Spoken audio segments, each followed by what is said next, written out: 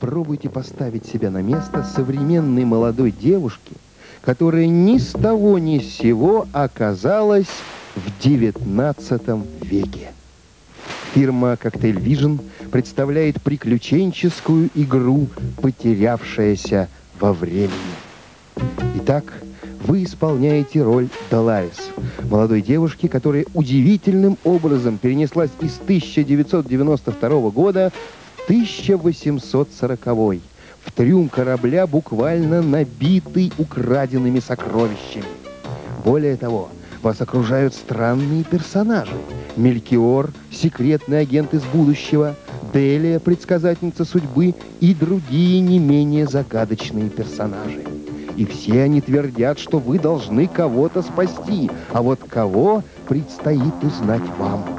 Со старинного корабля вы перенесетесь в таинственный особняк, на тропический остров, потом вернетесь на корабль, и везде вас ждут загадки, разгадать которые не так-то легко. Откроем главный секрет Доларис. Вы оказались втянутой в операцию службы безопасности, проводимую в 2092 году. Да, цель ее поиск стратегического материала, похищенного из лаборатории и унесенного в прошлое. Вы оказались идеальным кандидатом для выполнения ответственной миссии, и вас перенесли в прошлое без вашего ведома. Выпутываться вам придется самой, но не без помощи секретного агента, который следит за ходом операции. В этой игре используется уникальная технология, позволяющая совмещать живых актеров с нарисованными пейзажами, что дает уникальный эффект присутствия. Как и во всех приключенческих играх, вам предстоит собирать предметы и пользоваться ими для продвижения в игре. Не оставляйте неисследованным ни одного фрагмента на экране. Кто знает, где вы найдете полезный предмет или подсказку.